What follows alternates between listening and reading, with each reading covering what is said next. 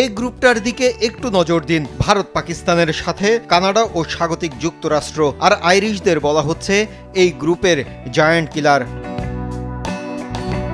পাঁচ দলের মধ্যে পরের রাউন্ড নিশ্চিতে নিঃসন্দেহে এগিয়ে ভারত আর পাকিস্তান। নয় জুনের যে ম্যাচকে ঘিরে যুক্তরাষ্ট্রে চলছে টান টান ক্রিকেটেও উত্তেজনা। এরই মধ্যে নাকি নিউ ইয়র্কে এই ম্যাচের টিকিটের জন্য লেগে গেছে হাহাকার। Pakistan India is a hot favourite এই দুইটা টিমেরই সম্ভাবনা বেশি যে পরবর্তী রাউন্ডে যাওয়ার। বাট বাকি যে টিমগুলো আছে হ্যাঁ তারা তাদের জায়গা থেকে তাদের বেস্ট ডিওয়ারটা চেষ্টা করবে। আনপ্রেডিক্টেবল এমন কিছু হবে না।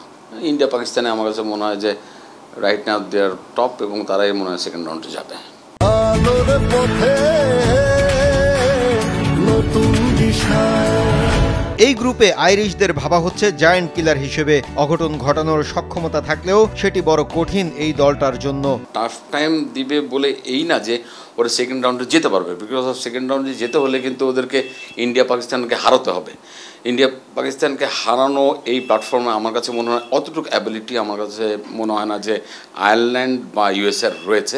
পাকিস্তান বা ইন্ডিয়ার সাথে আইরিশদের দেখা খুব কম হয় ইন্টারন্যাশনাল ক্রিকেটে এটা একটা অনবস্থতার বিষয় থাকে। ধরেন আমি যখন যাকে রেগুলার ফেস করব, তার সাথে আমার সব ধরনের শক্তিমত্তা জায়গাগুলো সম্পর্কে পরিষ্কার একটা ধারণা থাকে। কানাডা ও যুক্তরাষ্ট্রকে নিয়ে বড় কোনো উচ্চাকাঙ্ক্ষা নেই দর্শকদের। তারপরও তো বলা যায় না, খেলাটা তো একশো বিশ বলের ক্রিকেট মাহফুজুল ইসলাম আর ঢাকা।